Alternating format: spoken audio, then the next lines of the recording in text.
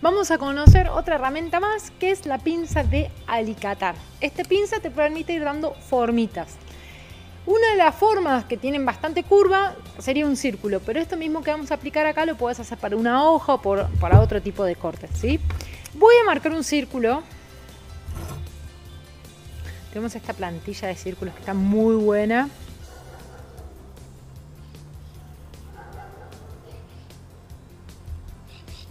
Ahí está. Perfecto. Tengo un circulito dibujado y ahora tengo que ir alicatando bien por el borde para que me quede la forma esta perfecta. Ahora, para separar este cuadrado, yo siempre tengo que lo que vaya a cortar una hoja o lo que sea, siempre tiene que estar cerquita, hay que hacerle un marco lo más cerquita posible. Entonces yo acá que debería hacer, sacar este excedente de azulejo, ahí, para quedarme con este cuadradito y a, partir de ahí empezar a trabajar. Yo ese excedente lo puedo sacar, como ya les mostré con el cortante de vidrio, paso por acá y separo. O para que vean el uso de la, de la pinza de dos ruedas, si yo pongo, hago un corte ahí, como que va a salir una línea más o menos derecha, para separar el corte me sirve. ¿sí? Como les había dicho que esta pinza no es para esta función, pero si yo quiero cortar trozos, como corta muy rápido y sin tanta fuerza lo usamos. No nos desviemos del tema. Tenemos el círculo. ¿Y ahora qué que hacer? Con la pinza de dos ruedas o con la pinza de alicatar voy a sacar el excedente sin tocar la rueda. Sin tocar, perdón, el círculo. Error, error. Ahí le saqué dos y estas dos se lo voy a sacar con esta. Que va a ser con la que voy a seguir trabajando y que es la pinza de alicatar, que es la vedette de este video. ¿Estamos? Estoy cerquita. Ahora, lo más importante es Voy a empezar a cortar ahora sí por la línea. Es importante que vayas por la línea, porque después la línea se borra. Entonces, vas a marcar con una fibra bien finita y después vas a ir comiendo de a poquito. Me voy a parar para que se vea súper bien.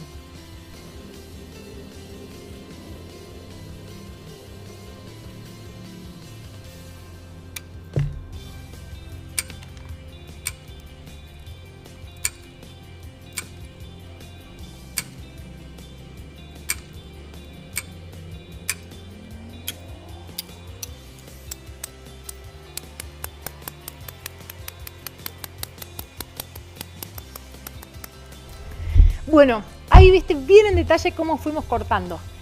¿Qué es importante? La pinza esta es una pinza que es recta y vos querés cortar un círculo, entonces tenés que entrar solo con una partecita de la pinza. Y si mirás bien el video, fíjate que yo no voy haciendo esto con la mano, que me voy quedando incómoda. Lo que voy girando es la pieza que voy cortando, ¿sí? Entonces me va quedando siempre de frente. Después, con la pinza, pues, si ves que hay alguna imperfección, una cosita más para sacar, pues como ir lijando con la propia pinza. No me quiero meter mucho en el tema del corte, sino en la pinza, que es lo que se trata este video. Este video. Entonces, esta pinza que hace va comiendo, fíjate que acá tengo algo súper puntiagudo, lo voy a ir comiendo para hacerlo más curvo, más suave, voy suavizando. Y avanzo de a poquito. Entonces, eso que estaba recto lo convertí en una curva. Y así con todo. Este lo hice un poco rápido, se puede hacer un poco mejor. Ahí está. O sacas poquito o vas dando curvita. Esta es la función. Y en las venecitas también. Si vos querés... A ver, vamos a ver una venecita. Si yo quiero hacer una hoja con una venecita que está entera, le voy a sacar los dos angulitos. Un ángulo y el otro ángulo. ¿Sí? Para que se convierta en una hoja, yo lo que quiero hacer es que este bordecito y este queden un poquito más suavizados. Entonces, con la pinza de alicatar,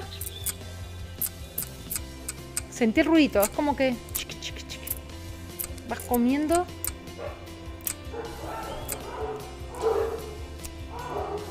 perros en acción. Parte de la naturaleza.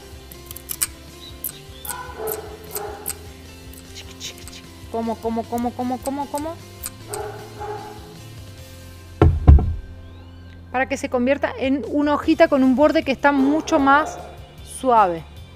No se nota tanto la punta, ¿sí? Entonces, esta pinza va comiendo para ir dando forma. Siempre ubicate cómoda y tiene una parte más recta y una punta que sobresale. Esa punta que sobresale mira para vos. Si te resulta de alguna otra manera que es más cómodo, cada uno lo utiliza a su forma. Lo importante es que relajes los hombros, los brazos, que no estés tensa para que los cortes salgan fluidos. Acá tenemos otro círculo, otro círculo, otro círculo, un montón de círculos. Acá tenemos un círculo, otro círculo, otro círculo, muchos círculos. Acá tenemos un toseto, que este círculo ya está dibujado y también con la pinza podemos ir alicatando por la línea si queremos que nos quede un medallón de un mandala. Ideas, lo importante es que sepas manejar las herramientas para que después lo utilices para lo que te necesite tu trabajo, para lo que más te guste hacer. Hay mil opciones. Ya tenés el video de las pinzas de dos ruedas, el cortante, la pinza de abrir corte y la pinza de alicatar. Así que usándolas de esta manera, liberándole el polvo que no tenga pegamentos, te van a durar un montón de tiempo y con el uso cada vez se pone más blandita y la vas a sentir como ya parte de tu mano. Si te gustó el video, te pido si nos regalás un me gusta si se lo compartís a otra gente que te parezca que le puede interesar el tema, que le guste, que esté mosaiqueando, que necesita hacer alguna terapia recreativa, esta técnica es súper ideal. Muchísimas gracias y sabes que en las redes nos encontrás como Córdoba Mosaicos o Buenos Aires Mosaicos y que hacemos envíos a, a todo el país de los materiales para mosaiquear. Tenemos materiales súper novedosos, exclusivos y muy originales.